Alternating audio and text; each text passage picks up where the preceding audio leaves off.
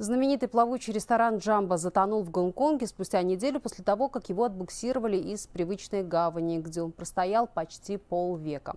Его планировали открыть в другом месте, но туда он просто не доплыл. Начался шторм. В результате ресторан перевернулся и ушел на дно.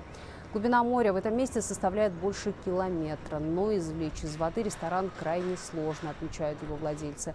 Они добавили, никто в результате инцидента не пострадал. Отмечу, заведение было одной из главных достопримечательностей Гонконга. В свое время его посетили многие знаменитости, среди них королева Елизавета и актер Том Круз.